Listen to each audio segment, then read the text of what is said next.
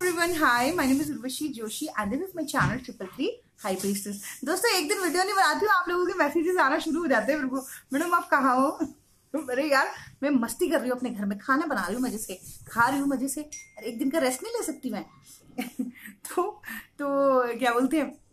ये वीडियो जो है, मेरा पहले तो मैं आप लोगों को शुक्रिया कहना चाहूँगी कि मैंने कई सारी अर्धनारीश्वर सीरीज़ चलाई।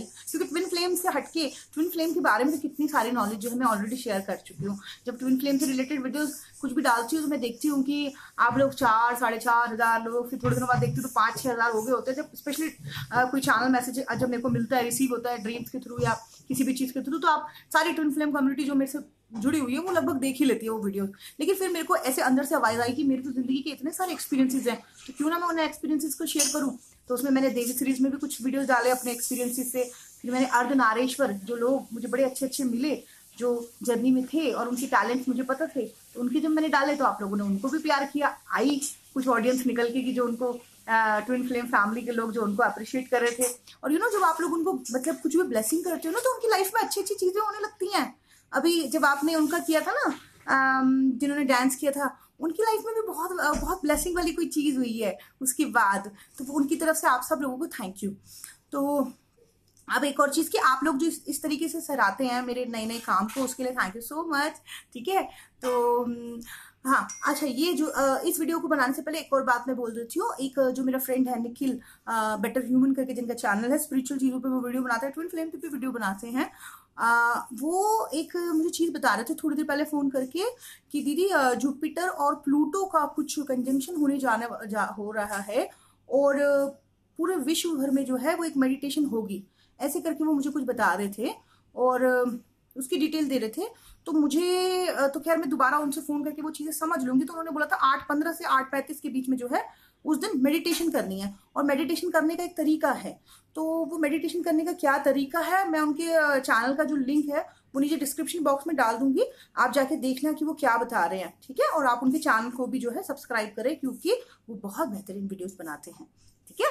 तो ये था। तो चलो, अब मेरा जो मेन चीज़ है, उसको सुनो। आज मैं जो वीडियो बना रही हूँ, वो वीडियो है एक सीरियस टॉप वो देवी शक्ति सीरीज़ में आता है ये वीडियो और इस इसका नाम है कुल देवी और कुल देवता ठीक है? शक्ति सीरीज़ में क्योंकि आज नवरात्रि है, आखिरी दिन है तो आज सबसे इंपॉर्टेंट चीज़ आपको बताने जा रही हूँ।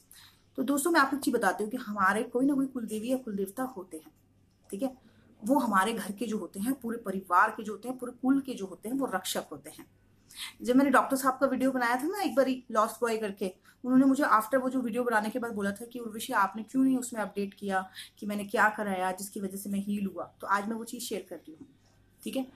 तो कुल देवी देवता कौन होते हैं? वो वो होते हैं जो हमारे पूरे कुल के रक्षक होते हैं, ठीक है? हमारे पूरे खानदान के जो होते हैं, वो रक्षक होते हैं, ठीक है? तो उनको, हमारे जो पितृ भी थे ना, वो भी उनकी पूजाएँ करते थे, वो भी उनको उनको पूछते थे। अब क्या होता है कि जैसे कोई इंसान है, आपने कभी किसी का घर देखा है? या जिनमें बहुत ज़्यादा कलेश चल रहे हैं, लड़ाइयाँ चल रही है एक्सीडेंट चल रहे हैं कोर्ट केसेस चल रहे हैं, अशांति हो रखी है, ये कौन से घर हैं? ये वो घर हैं जिनमें कि कुल देवी देवता तो थे या हैं, लेकिन ये उनको पूछते नहीं हैं। ये जाते नहीं हैं उनको पूजने के लिए। ये सर नहीं झुकाते। इनकी आने वाली, आगे वाली जो पीढ़ियाँ ये भूल चुकी हैं। इसलिए ये वहाँ माथा नहीं टेकते, उनके लिए कुछ नहीं करते। इसलिए वो इनसे नाराज़ होती हैं। इसलिए ये वो सारी चीज़ें करती हैं। इनकी इनकी ज़िंदगी जो है वो मतलब बहुत ही खराब। इनके घरों में कलेश होते हैं, झगड़े। इनके घर में एक्सीडेंट्स होते हैं। इनके घर में आकस्मिक मृत्युज हो जाती हैं। न जाने क्या क्या होता रहता है? इनके घर में सडनली इनकी जॉब चल जाती है बिज़नेस खराब हो जाते हैं, इनके बच्चों की शादियाँ टूट जाती हैं। और न जाने क्या क्या इनके बच्चे बिगड़ जाते हैं। कोई कोई कोई जेल में भी पहुँचे हैं लड़कियाँ इनकी ऐसे गलत कदम उठा लेती हैं, ये सब किस वजह से होता है? कुल देवी देवताओं के नाराज़ होने से होता है। और क्या होता है कि जब कुल देवी देवताओं को बहुत टाइम तक ना पूजे जाए तो पितृ जो होते हैं ना, वो भी बहुत परेशान करते हैं अपने घर वालों को, क्योंकि वो तो उनकी पूजा करते थे ना।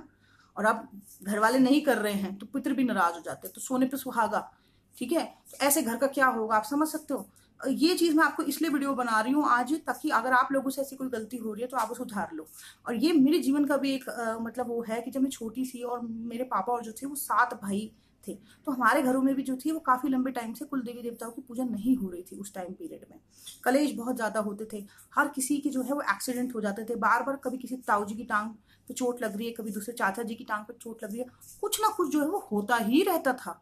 ठीक है? फिर हमारे जो घर के जो मेन पंडित थे, उन्होंने बताया इस बात को कि आपके जो है, ये नाराज़ हैं कुल देवी देवता भी नहीं नाराज़ हैं, पितृ भी नाराज़ हैं। बताया उन्होंने वो चीज़ों को। ठीक है? तो और हाँ ऐसे ऐसे घर जिनमें कुल देवी देवता नाराज़ होते हैं ऐसे घरों के जो पुण्य अच्छी आत्माएँ वाले बच्चे होते हैं ना उन उनके सपनों में जो है वो ज़्यादातर जो है वो शेर आ, उनके पीछे भाग रहा है उनको मारने को दौड़ रहा है ऐसे सपने उनको ज़रूर आते हैं। या फिर अगर कुल देवता है तो मेरे ख्याल से फिर जैसे कि बैल जो है वो उनके घर के दरवाजे तोड़ रहा है या फिर आ, कुछ ना कुछ ऐसी चीज़ें उनको नज़र आती हैं कि जैसे कि जैसे कि स्पेशली कुल देवी का जब दोष होता है, मैंने देखा है कि शेर जो है वो आपके पीछे पड़ा रहेगा ड्रीम में, ठीक है? आप भाग रहे हो, भाग रहे हो और शेर आपके पीछे भाग रहा है तो ये साफ़ इंडिकेट करता है कि देवी जो है वो नाराज़ है और आपको उनको पूजना है, ठीक है? एक और चीज़ मैं बताती हूँ कि जो लोग कुल देवी देवताओं को पूछ के चलते हैं, उनके घर में बहुत शांति रहती है। उनको कोई भी दुष्ट आत्माएँ परेशान नहीं करती हैं, बिल्कुल भी। उनके पितृ भी उनसे प्रसन्न रहते हैं, क्योंकि कुल देवी देवता उनको समझा देते हैं, ठीक है? तो फिर वो भी शांत रहते हैं। कई बार लोग क्या करते हैं ना, पितृदोष के लिए निवारण भी कर देते हैं इन सब चीज़ों का। जैसे कि पितृदोष का इधर उधर जाके कुछ निवारण कर दिया। बट अगर उन्होंने कुल देवी देवताओं का नहीं किया है तो पितृदोष फिर एक्टिव हो जाता है, फिर एंसेस्टर्स प्रॉब्लम करते हैं। तो प्लीज़ अगर आप लोगों में से किसी से ऐसी कोई गलती हो रही है तो प्लीज़ उसको सुधारें, ठीक है? और हमारा जो सबकॉन्शियस माइंड है, हमारा जो ड्रीम है ना, वो हमें मैसेजेस भेजता है। तो प्लीज़ उन मैसेजेस को समझें, ठीक है? और अगर नहीं समझ आ रहे हैं तो मेरे तो सेशंस हैं ही ना। तो सेशंस में, मैं आपको एक चीज़ बताऊँ सेशंस मेरे इसलिए नहीं होते कि मैं आपके साथ गप्पे मारूं या आपकी कहानियाँ सुनूं बैठ के। सेशंस मेरे इसलिए होते हैं, दो तरीके के सेशंस मैं करती हूँ। एक सेशन में जो है, मैं ये आप लोगों की स्टोरी सुनती हूँ और मैं जो है टैरो कार्ड्स के थ्रू जो है, जो लोग टैरो कार्ड्स के थ्रू जाना चाहते हैं, वो टैरो कार्ड्स के थ्रू मेरे से सोल्यूशन लेते हैं तो टैरो कार्ड्स के थ्रू जो है मैं उनको सोल्यूशन भेजती हूँ। ठीक है? वो अपने क्वेश्चंस मुझे भेजते हैं और मैं उनको सोल्यूशन भेजती हूँ। सेशंस में क्या होता है कि सेशंस में मैं डायरेक्टली बात करती हूँ उनसे फ़ोन पे। और सेशंस में क्या होता है कि उनको एक हीलिंग मिलती है मेरे से बात करके। एक पॉजिटिविटी एक अच्छी एनर्जी मुझसे रिसीव होती है। ठीक है? और मैं स्पेसिफिकली सिर्फ़ ट्विन फ्लेम्स के लिए या एंसेस्टर्स प्रॉब्लम के लिए या फिर ये जो चीज़ें मैं आपसे शेयर कर रही हूँ, सिर्फ़ इन चीज़ों के लिए मैं डायरेक्शन देती हूँ। मैं मतलब मैंने मैं और चीज़ों पे अभी काम नहीं कर रही हूँ, क्योंकि मैं और चीज़ों की ज्ञानी नहीं हूँ, ठीक है? तो अगर मैं कभी किसी और चीज़ की ज्ञानी हुई तो डेफिनेटली मैं उसमें आपको गाइड कर पाऊँगी। अभी ढाई साल से जो मैंने चीज़ें एक्सपीरियंस करी हैं, जिन चीज़ों को मैंने एनालाइज किया है कि हाँ हाँ हाँ ये ये चीज़ें हैं, उन्हीं चीज़ों पर मैं आपको गाइड कर सकती हूँ। कई बार आप बोलती हूँ, मैम, चक्रास के बारे में कुछ बताइए। तो मैं चक्रास के बारे में कैसे बता दूँगी आपको? एक बार बताओ। ये तो बहुत महा जो वो होते हैं ना बड़े पहुँचे हुए जो लोग होते हैं, वो तक भी मतलब अब जैसे परम सर का चैनल है, ठीक है ना? वो इतने, उनका, उनको उनको काफ़ी कुछ मालूम है। वो इस चीज़ की क्लासेस भी लेते हैं। लेकिन अभी तक उन्होंने इस चीज़ के बारे में इस तरीके से जो है वो वो नहीं है। पर वो वो चीज़ें कराते हैं एक्चुअली वो कुंडलिनी क्रिया भी कराते हैं। वो काफ़ी चीज़ें कराते हैं। उनकी क्लासेस होती हैं। तो दोस्तों, ये जो चीज़ें होती हैं ना, चक्रा, ये ये सारी चीज़ें, ये ऐसे अपने आप से रिस्क नहीं लेना चाहिए। अगर आप यूट्यूब पर देख रहे हो, ये विद्याएँ सीख लो, ये साधना सीख लो, इसे आँख बंद करके कोई काम नहीं करना।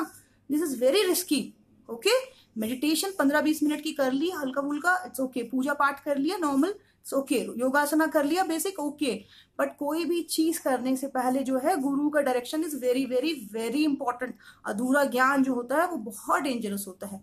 वो आपको मुश्किल में डाल सकता है। ठीक है? तो ऐसे रिस्क नहीं लेना है। अब जैसे फॉर एग्ज़ाम्पल मैं जो जिन चीज़ों पे वीडियोस बना रही हूँ, वो मैं इसलिए बना पा रही हूँ क्योंकि ढाई साल का एक्सपीरियंस है इन चीज़ों को लेके। इसलिए बना पा रही हूँ। तो अगर मैं मैं सिर्फ़ अपना जो चीज़ मैंने एक्सपीरियंस किया वो सारा मैं अपलोड करती जा रही हूँ। तो मैं एक टाइम पे एक ही चीज़ हो सकती हूँ। क्योंकि मैंने ट्विन फ्लेम और स्पिरिचुअल जर्नी का ये जो स्टोल शॉक एक्सपीरियंस किया था तो मैं ये डाल सकती हूँ। मैं हर चीज़ नहीं हो सकती हूँ, है ना? मैं मैं ट्विन फ्लेम का यूट्यूबर हो सकती हूँ स्पिरिचुअल अवेकनिंग का यूट्यूबर हो सकती हूँ, लेकिन मैं गुरु नहीं हो सकती हूँ योगा का। मैं मेडिटेशन का गुरु नहीं हो सकती हूँ, मैं चक्रा का गुरु नहीं हो सकती हूँ। तो जो इन चीज़ों में एक्सपर्ट हो, सिर्फ़ उनकी तरफ़ जाओ, ऐसा रिस्क नहीं लेना किसी भी चीज़ का, ठीक है? एज ए सिस्टर मैं बोल रही हूँ आप लोगों को, क्योंकि एक गलत मेरे द्वारा या किसी के भी द्वारा बोला गया एक गलत चीज़ उसके पूरे कर्मों को खराब कर सकता है। ठीक है? उसकी कराए किसी का भी मतलब गलत चीज़ हम यहाँ बोल दें, और अगर उसका कोई गलत इम्फेक्ट पड़ गया, उन सबकी लाइफ में जो इफ़ेक्ट पड़ेगा, उसका सारा करते धरता जो होगा, बोलने वाला होगा। ठीक है? इसलिए इसलिए ये सब नहीं, मैं सिर्फ़ अपने एक्सपीरियंस से जो जो मैंने अपनी ज़िंदगी में देखा एक्सपीरियंस किया, कैसे इंप्रूव किया, वो सारा चीज़ यहाँ अपलोड करती हूँ। ठीक है? तो दूसरी बात सेशन आप लोगों में से कई लोग यार मुझे बड़ा शर्मिंदा करते हैं। मैडम, आपसे बात करना चाहते हो, फिर मुझे बोलना पड़ता है this number is only for session and reading या प्लीज़ ऐसे मुझे शर्मिंदा मत किया करो। और पता है, बहुत सारे सेशन आते हैं। बड़ी मुश्किल से मैं जैसे जैसे अपने घर के सारे काम करके, सारी चीज़ें करके, अपना सारा सब कुछ चीज़ें एडजस्ट करके वो सेशंस लेती हूँ अच्छे तरीके से। ठीक है? अपने आप को भी ज़्यादा वो ओवर बर्डन नहीं करना चाहती हूँ मैं। लेकिन बार बार ये बोला कि मैम आपसे बात करना चाहते हो मेरे बार बार उनको बोलना कि देखो this number is only for session and reading मुझे अच्छा नहीं लगता है। दोस्तों सेशन में ना मैं आप लोगों के साथ गप्पे नहीं मारना चाहती हूँ। वो बेसिक चीज़ें जो आप एक्सपीरियंस कर रहे हो, वो तो हम सब वही एक्सपीरियंस कर रहे हैं। मैं कोई गुरु जी नहीं हो कि मैं आपको सिखाऊं कि आप पुण्य आत्मा हो और आपने सबको गले लगाना है। No no. मैं एक्चुअली में ना, जब आपसे बात करती हूँ तो मैं दो चीज़ों के थ्रू करती हूँ। या तो टैरो रीडिंग के थ्रू करती हूँ या तो मैं एस्ट्रोलॉजी के थ्रू चेक करती हूँ। एस्ट्रोलॉजी में जो दो तीन चीज़ें मुझे मेन पता है ट्विन फ्लेम्स की, उसको मैं चेक करती हूँ। कुछ भी बोल लो। हो सकता है आप बहुत सारी चीज़ें छुपा रहे हो, टैरो के थ्रू सब पता चल जाएगा मुझे कि क्या आपके मेन इश्यूज़ हैं, क्या आपके मेन ब्लॉकेजेस है। इनर वर्क तो खैर आपसे बात करते करते ही मुझे पता चल जाएगा आपकी स्टोरी के थ्रू कि आपके बेसिक इनर वर्क क्या है। बट आपके जो बड़े इश्यूज़ है ना, वो मुझे ज़्यादातर टैरो कार्ड के थ्रू पता चलते हैं। या तो मुझे आपके बड़े इश्यूज़ जो है, वो एस्ट्रो जो मैं वो कुंडली देखती हूँ, उसके थ्रू मुझे पता चलते हैं। अगर मैं ये चीज़ें कर रही हूँ और उसके बदले में एक छोटा सा एनर्जी एक्सचेंज ले रही हूँ, जो कि वो मेरी, मैं मेहनत करके वो कर रही हूँ ना वो चीज़ें तो वो कोई गलत नहीं है। बट अगर आप ये सोच रहे हो कि मैं गप्पे मारूँ तो फिर वो चीज़ मैं कभी नहीं कर सकती और आप मेरे से बिल्कुल उम्मीद मत करना कि मैं ये चीज़ करूँगी आप लोगों के साथ कि आप मेरे से बोले कि थोड़े से बात करना चाहते हो। नहीं। और आप पता कई बार क्या होता है मेरे साथ कि जैसे मेरे ओल्ड क्लाइंट्स हैं कई बार तो उनकी मैंने जैसे सेशन जैसे लिए तो उनकी उनकी आदत क्या होती है कि वो कई बार अपनी एकदम से ना बातें बताने लग जाएँगे। तो उसमें क्या होता है, कई बार जैसे मैं सोचती हूँ, यार चलो कोई बात नहीं पाँच दस मिनट बात कर ली, कुछ नहीं होता। पर वो लोग लंबा लंबा खींच लेते हैं। और वो बात मुझे ऐसा लगता है कि अगर मैंने बड़ी मुश्किल से ये लेवल अचीव किया तो मुझे वो दिखाई देता है कि यहाँ पे पहुँचे हुए हैं। बट स्टिल मैं बिल्कुल उनके लेवल पर आके बात करने की कोशिश करती हूँ कि ये अपने आप को कंफर्टेबल समझे।